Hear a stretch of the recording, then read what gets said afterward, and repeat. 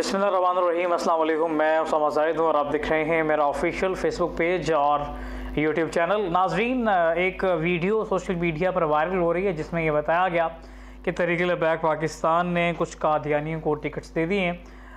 वो वीडियोस जब मेरे पास पहुँची इस किस्म की और मजलिस ख़त्म नबूत आलमी मजलिस ख़त्म नबूत के कुछ अरकान ने भी इस पर कंडेम किया। आ, मेरे ख़्याल से थोड़ी सी तहकीक की ज़रूरत थी आलमी मजलिस ख़त्म नबूत को और कुछ ट्विटर पर दीगर सोशल मीडिया प्लेटफार्म्स पर इस तरह की शिकायत मसूल हुई। तो इस हवाले से मैंने रीट्वीट किया को ट्वीट किया तो कुछ नाजरीन ने मेरे पास उसकी डिटेल पहुँचाई है। आ, सबसे पहले तो मेरी गुजारिश है कि एक वीडियो ये ज़रा सुन लीजिएगा उन आ, जो जिन पर इल्ज़ाम आयद किया गया फिर दोबारा हम इस पर बात करते हैं।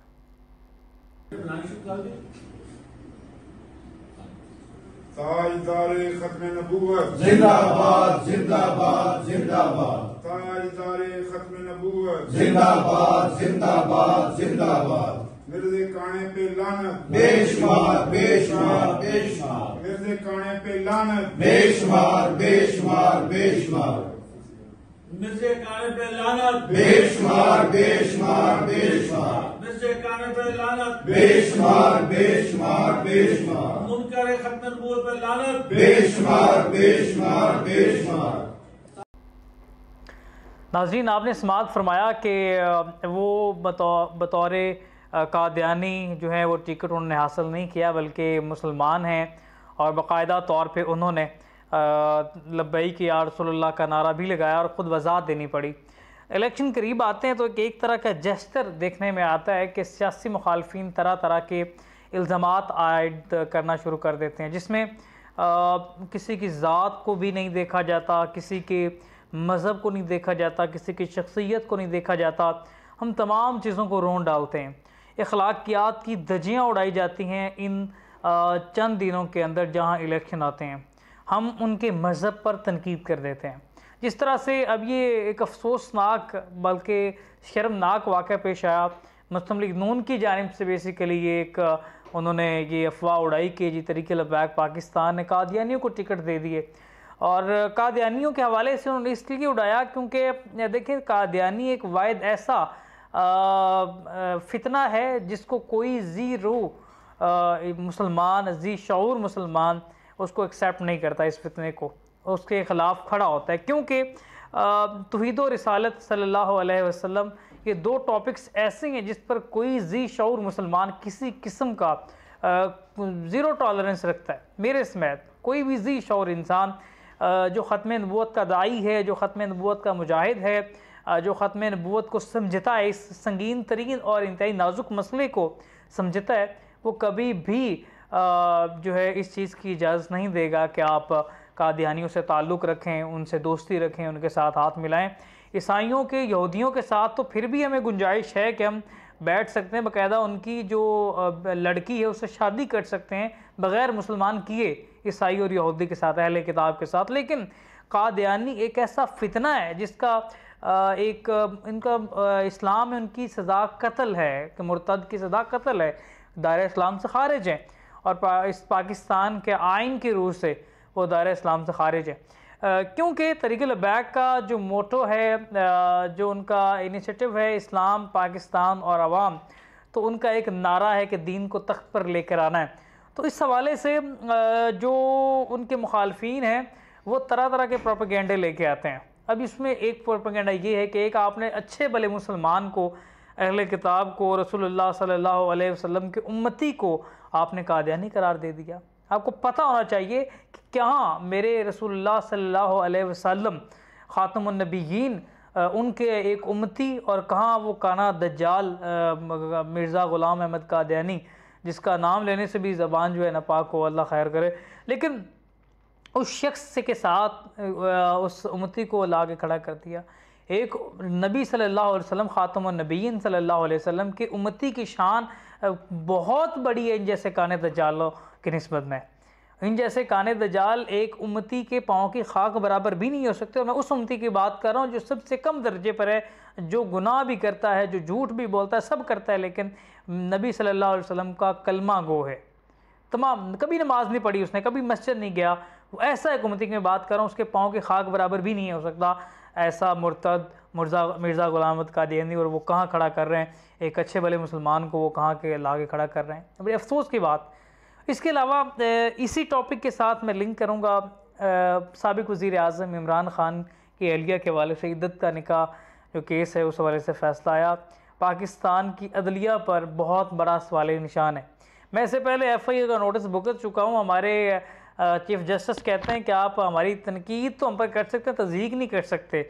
अब मुझे नहीं पता तनकीद और तजीक क्या है। आपके फ़ैसले पर सवाल उठाना हमारा फ़र्ज़ है। इस, गए गुजरे दौर में अगर हम भी खामोश हो जाएँगे तो पाकिस्तानियों को तो वैसे ही आपने बोलने की गुंजाइश नहीं दी है। घर से उठा लिए जाते हैं। तो बहरहाल मैं नहीं समझता कि किसी की पर्सनल लाइफ पर अटैक होना चाहिए। आ, उनकी रोज़ा रसूल सल्लल्लाहु अलैहि वसल्लम के सामने एक तस्वीर है जिसमें इमरान खान और बुशरा बेगम वहाँ पे बैठे हुए हैं। तो मैंने एक ट्वीट किया मैंने कहा कि ए अल्लाह अगर ये सच्चे हैं तो उनको गारत कर दे जिन्होंने सुनत नबी अलैहि वसल्लम और एक मुक़दस रिश्ते का मज़ाक उड़ाया। तो अगर ये सच्चे हैं इमरान खान और बुशरा बेगम, अगर तो वो सच्चे हैं तो उनको गारत कर दिया जाए जिन्होंने मुक़दस रिश्ते का मज़ाक उड़ाया। और अगर ये झूठे हैं तो अल्लाह पाक के इन पर लानत हो जो नबी अलैहि वसल्लम के दर पे नामहरम बन के बैठे हुए हैं। तो मेरे ख्याल में पाकिस्तानियों के हवाले से सोचना चाहिए, ये जिस तरह से सियासत के अंदर गंद फैलाया जा रहा है, इसका ये आज चुप रहने वाले जो इस पर कंडेम नहीं करते, इस पर एहतजाज नहीं करते, वो तैयार हो जाएँ, कल को ये बू फैलेगी। पाकिस्तान की नहीं बल्कि आलम इस्लाम की तारीख में पहली बार कोई ऐसा आ, केस सामने आया है जिसमें निकाह करने पर आपको सज़ा दे दी जाए। इद्दत का मसला औरत से जुड़ा है। औरत बेहतर जानती है कि उसको माहवारी हुई है नहीं हुई है कितनी देर हुई है ती, तीन महीने बाद हुई है दो महीने बाद हुई है एक महीने। ये औरत के पर्सनल मामला हैं। वो मामला जो हम बहन जो है भाई से आ, बाप बेटे से बेटी माँ से डिस्कस नहीं कर सकती, वो न्यूज़ हेडलाइंस के हिस्सा बन रहे हैं। वो मीडिया का हिस्सा बन रहा है, वो कोर्ट के हिस्सा बन रहे हैं। पाकिस्तान, इस्लामी जमहूरिया पाकिस्तान। इस्लामी भी नहीं रहा, जमहूरिया भी नहीं रहा, पाकिस्तान पाकिस्तान तो मिट्टी है, ये पाक तो है, लेकिन इस पर गंदे लोग इतने मुसलत कर दिए कि आज इसको पाकिस्तान कह कर भी जस्टिफाई नहीं कर सकते कि ये पाकिस्तान है। अफसोस का मुकाम है वैसे। आपने एक इस्लामी जमहूरिया पाकिस्तान के एक नाम को दागदार कर दिया इस जैसे मतनाज़ फ़ैसले से। अफसोस करना चाहिए, अदलिया को देखना चाहिए। अदला, अदलिया के ऊपर पहले ही बहुत बड़े सवाल निशान हैं। इस्लामी रियासत की बात करते हैं, इस्लामी जमहूरिया पाकिस्तान की बात करते हैं। आपका नंबर अदालत, अदालती निज़ाम में एक सौ छब्बीसवां, एक सौ तीसवां नंबर है। तो ये आप किस के उम्मती हैं और आप किस मोटो के साथ आप आगे बढ़ रहे हैं? शर्म आनी चाहिए। थोड़ा सा हया कर लें, पाकिस्तान के आने वाली नस्ल को क्या पैगाम दे रहे हैं? किस तरह से जस्टिफाई करेंगे? इन बढ़ती नफ़रतों को आप आने वाले वक्त में कैसे जस्टिफाई करेंगे? ये बहुत बड़ा सवाल निशान है। ये बहुत बड़ा सवाल निशान। आपके आने वाली नस्ल जो आज इलेक्शन लड़ रहे हैं, जितने भी इलेक्शन लड़ रहे हैं पॉलिटिशन जी, अगले अगले इलेक्शन में इनमें मोस्टली सत्तर परसेंट नहीं होंगे। आपको बताता चलूँ कि इस इलेक्शन में, इस इलेक्शन में सूबाई और कौमी असम्बली के टोटल अट्ठासी उम्मीदवार जो वफात पा गए हैं। इलेक्शन लड़ना था उन्होंने सूबाई और कौमी असम्बली के टोटल पाकिस्तान से अट्ठासी उम्मीदवार वफात पा गए हैं या कत्ल कर दिए गए हैं। अट्ठासी अट्ठासी हलकों में इलेक्शन जो है वो मुलतवी हुए हैं, जो दोबारा होने हैं। अट्ठासी हलकों में। तो ये सिर्फ़ इलेक्शन से चंद दिन पहले की बात है।